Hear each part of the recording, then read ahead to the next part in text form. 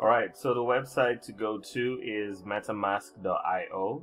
It's available on Chrome, iOS, and Android, so you can have this on your phone. You can see all the supported browsers over here Google Chrome, Firefox, Brave, and even Microsoft Edge. I've actually never tried it on this.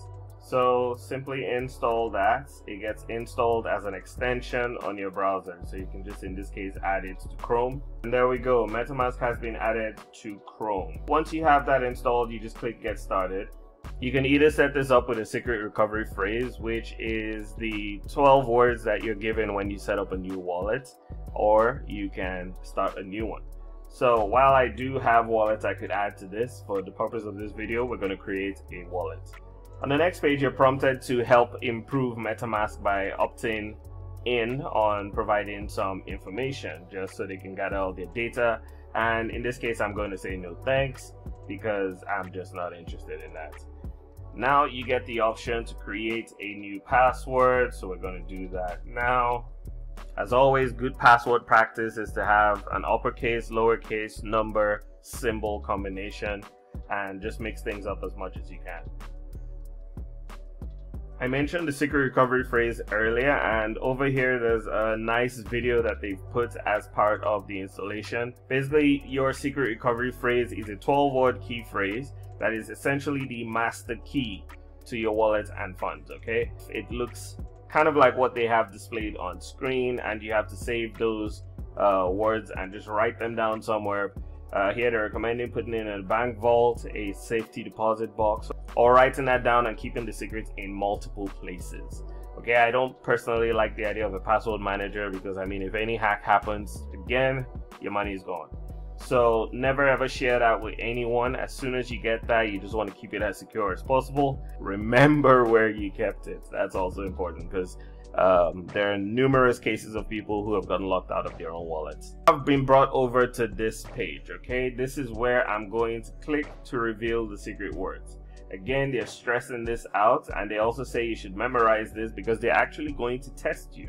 And now I've clicked on it, you can see the words and they're all there, okay? So I'm expected to memorize this. So uh, just for the purpose of this video, and this is typically not how it should happen, but I'm gonna create a notepad, okay? And we're just gonna paste this out here. And the reason we're doing this is because they're gonna test me to make sure that I did this and I kept it here. Now I don't care about this wallet, I'm only creating it for the purpose of this video, but let's go along with it. So there we go.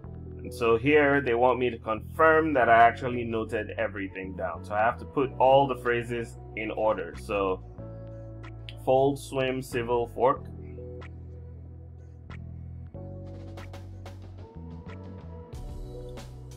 Tattoo, soda, jungle, erupt.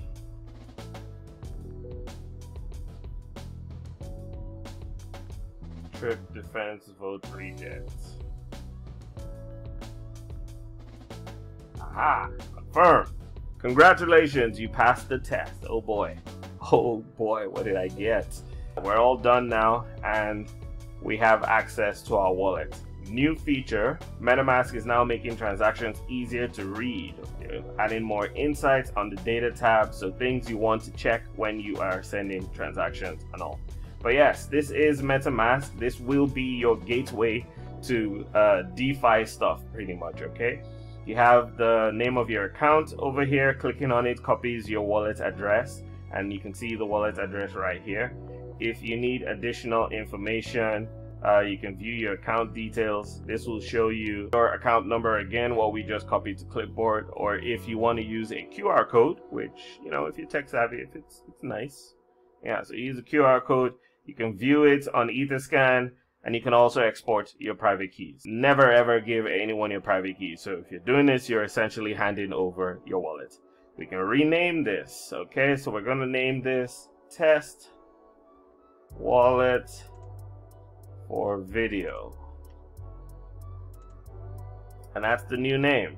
As it stands, we are on the Ethereum mainnet. But just so you guys know, you can also add different networks. So if we wanted to add, say, the Binance Smart Chain, um, Fantom Network, if you want to add Avalanche, would simply do this. Okay, I'd go over here to Google.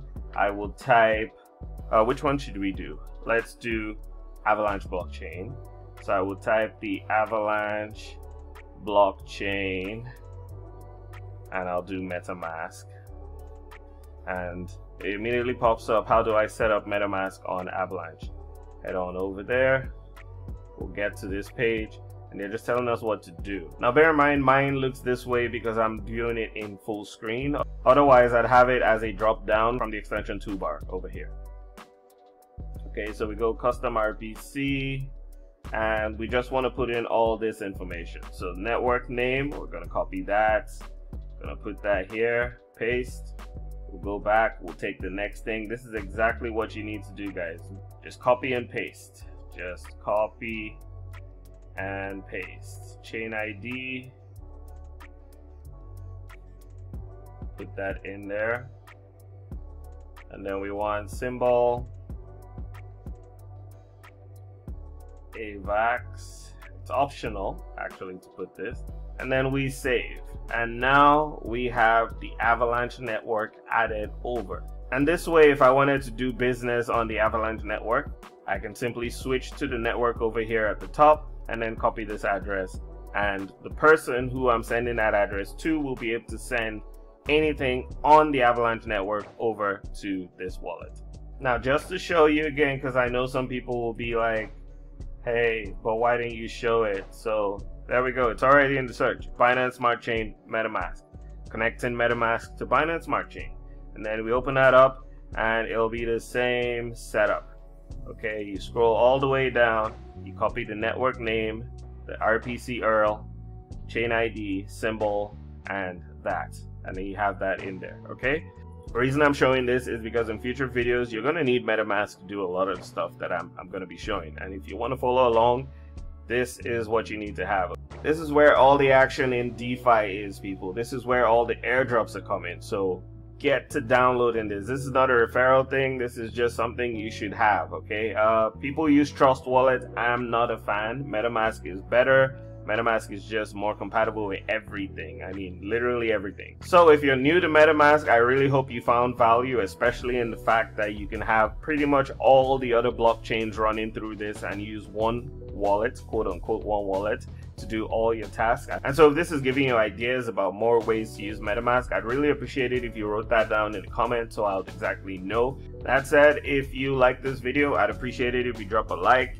If you want to stay tuned and join our Zero to a Million project, hit that subscribe button. We got a lot of stuff coming and uh, MetaMask is just going to be the gateway to help us get there. So be sure to share this video if you know anyone who needs it. I used to think everyone already used MetaMask. I was wrong. So I hope this helped someone. And yeah, I'll see you guys on the next one. Stay tuned.